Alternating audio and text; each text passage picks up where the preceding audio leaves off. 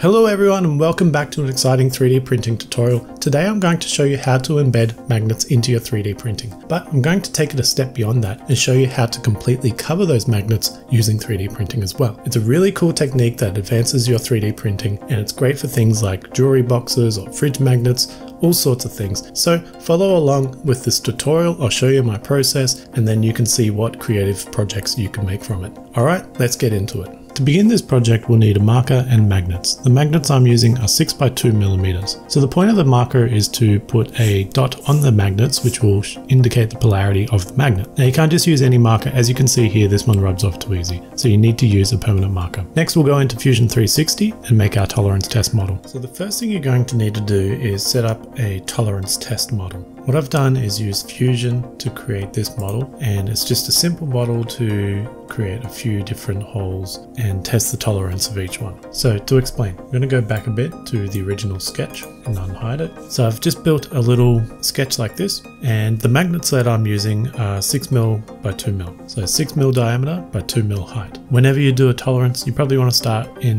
0.1 increments. So here I've done three circles. One is at 6.1, one is at 6.2, one is at 6.3. This way I can put a magnet in each one and just see which fits best. So I've done a quick little sketch like that. I've then extruded it. I've only extruded it a little bit because I want this to be a pretty quick print. So I've just extruded it 3 mil. The next stage is I've used the first sketch to cut and I have made a cut of negative 2.4 millimeters. So the magnet does only have a height of 2 millimeters, but just with the nature of 3D printing, you want a bit of space there just in case. You don't want it to the tool head to be uh, scratching over the magnet if it's you know sticking out too much. So you want it to sit down a little bit but obviously not too far otherwise it's not going to be strong enough for the magnets to attract to each other. So I recommend either 0.4 or 0.5. In this case I've done 2.4 millimeters for a cut. Then I've just extruded a 0.5 uh, wall on the top. So when you do your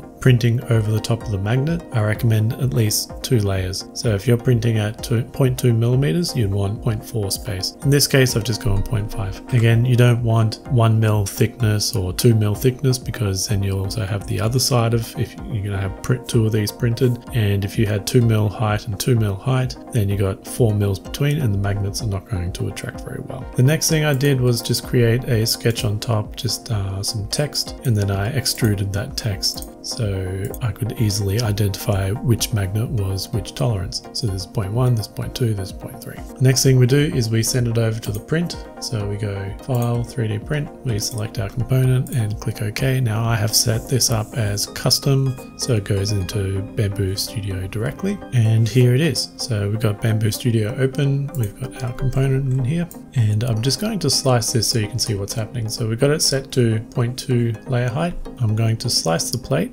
and I'm just going to drop down through the layers here. So using the up and down keys on the keyboard is an easy way of dropping through the layers.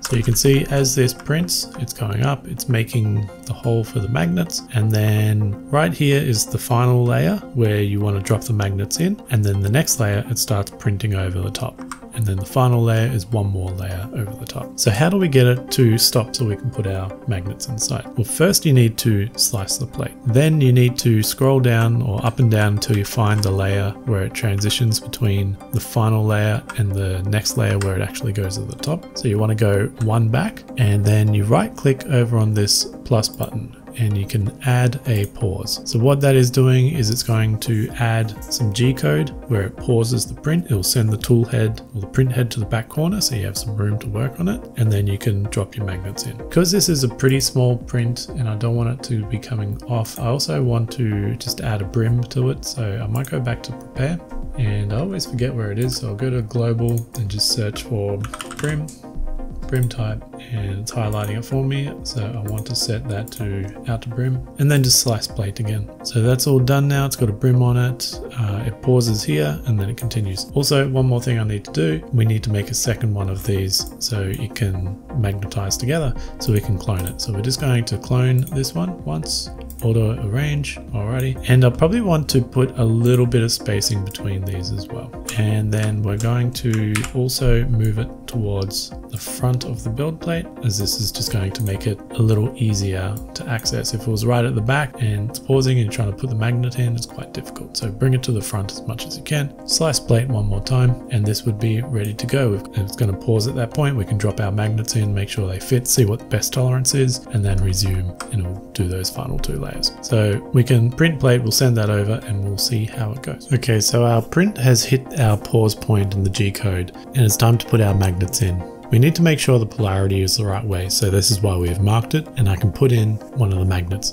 Because this is a test one, I'm trying the 6.1 diameter and it was too difficult, so I went straight to the 6.2, which needed a little more pressure, but I was still able to push it in. And then the 6.3 millimeter, that just dropped in, but there was really nothing holding it in place. And same for the other side, I put in, I went straight to the 6.2 millimeter and pushed that in and then to the 6.3. Keep in mind that I had to reverse which way the magnets were facing because when the two parts are brought together, they need to attract each other.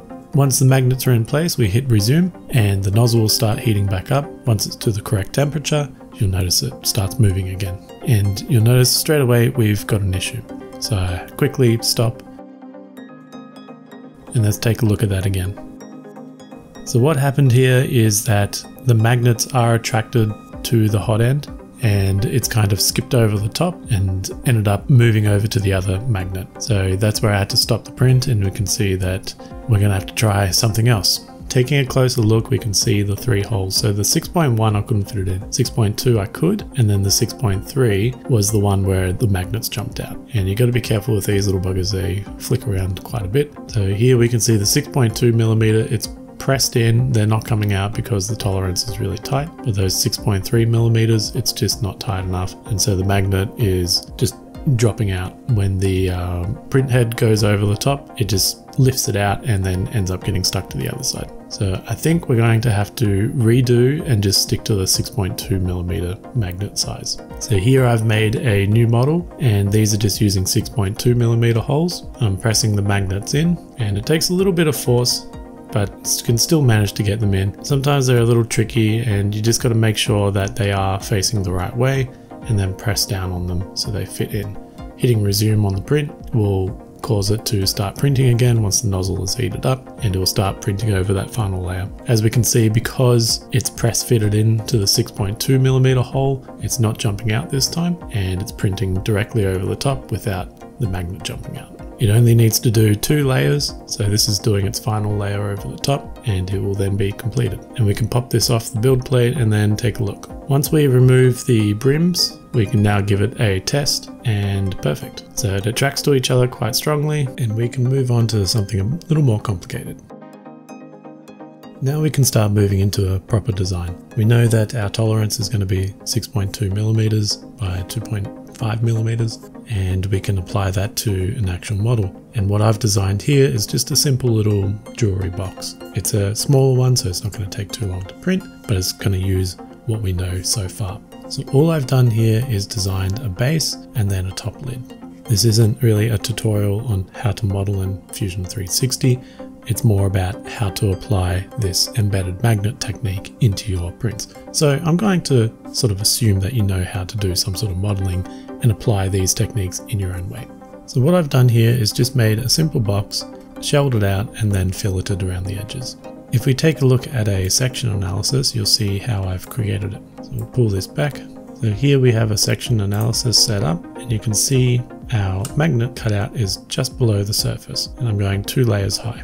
Again, I'm using a 0.2 layer height, so it's going to be 0.4 above. In Fusion, to create this hole, what I've done is I've created a sketch on the surface of where I want the hole, but then I've set the start point to offset from that layer and it's going to offset 0.04 in the negative. So that's where it's going to start cutting out. And then I've made my cutout 2.5 millimeters. So it drops 0.4 and then it cuts 2.5. And it does that in each of the four corners. And it's the same for the lid as well. So whatever you design, whether it's a box or a fridge magnet or something that needs magnets inside, that's pretty much what you'll do. Create a cut feature, but make it start from a certain layer down, so negative 0.4 in my case, and then cut into your material again, 2.5. And then from here, once you have your model complete, you'd send it over to print. So in Fusion, we go File, 3D Print, and I've set it up as a custom print utility, so it's going to go straight into Bambu. I want my entire model, and I'll go OK.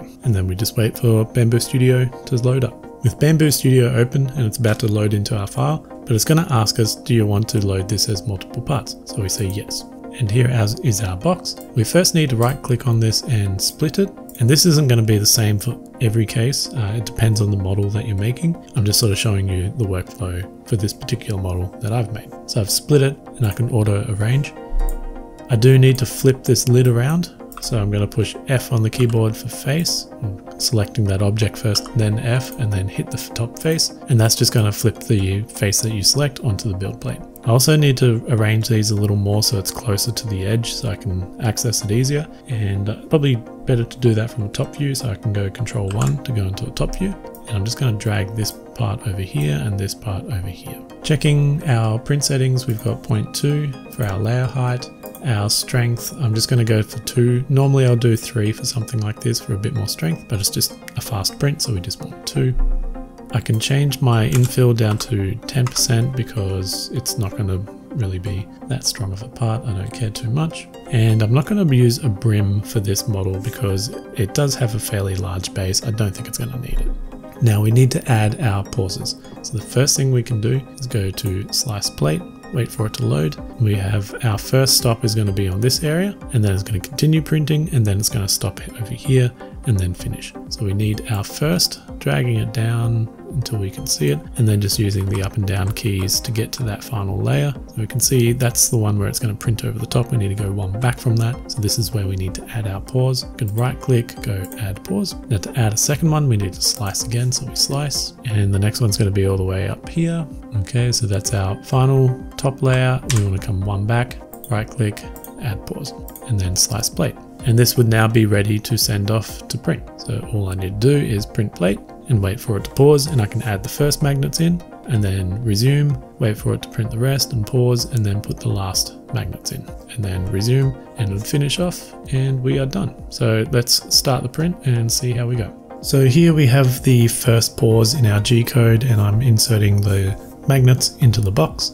You may notice that the box is positioned at the back of the build plate and that's only because I filmed this in a bit of a different order, but learning from my mistake, that's why I showed in the slicer to move it to the front of the build plate so it's a bit easier to access. Anyway, the 6.2mm tolerance holes weren't too difficult. It required a bit of a press and I was worried that I might upset the Z offset of the build plate, but it seemed to be okay. Once the magnets were in place for the first part, I then resumed to continue into the second pause.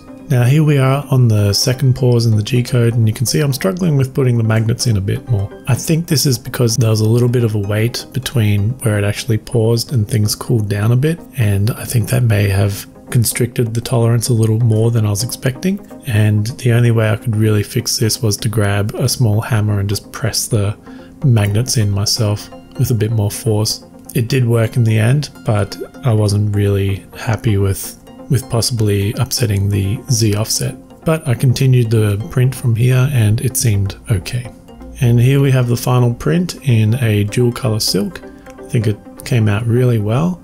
And if we take the lid, check out the magnets and it snaps together perfectly. So I'm quite happy with this, but I think I can refine things a little more just because those magnets were a little too difficult to put in. So there is one more thing I think we can improve on, and that's using super glue and increasing the size of the hole just a little bit bigger to 6.3 millimeters. This way there, it's not a friction fit anymore, but I can go along, I can put a drop of glue in each of the holes, and this makes it much easier just to drop the magnets in place. I don't have to worry about pressing them down and upsetting the balance of the bed level or anything. I can just drop the magnets in, they glue in place in about 5 seconds, and then hit resume on my print and it'll print over the top. As you can see, because they're glued in place now, the hot end isn't picking them up at all.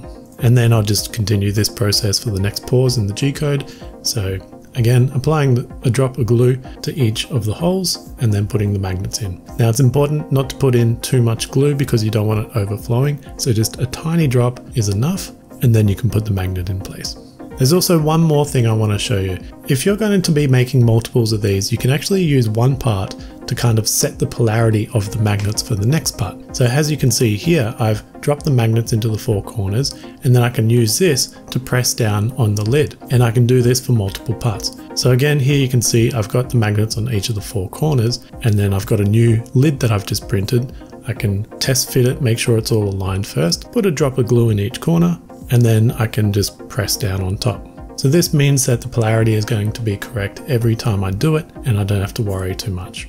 It also means there's consistency to the polarity in a group of products. So I might make a bunch of these boxes and I want lids from different boxes to fit on other boxes and I need to make sure the polarity is right. So I can kind of use this as a baseline and always have polarities in the correct position and alignment and just drop it in place quite easily. And so that brings us to the end of this video. I hope you found it informative and it's given you some inspiration for some of your own designs. I think it's a really easy technique once you dial in your tolerances and it can really bring your 3D printing to a new level. As you can see here, I've made these two boxes from different materials and they came out really good. One's for gemstones and one is for some gold and silver. I'll make sure to put a link to these files in the description of this video so you might want to download it and print it for yourself. Otherwise, get out there and make your own designs. And finally, if you have found value in this tutorial, then please consider subscribing to the channel and liking the video. And until the next video, thanks for watching.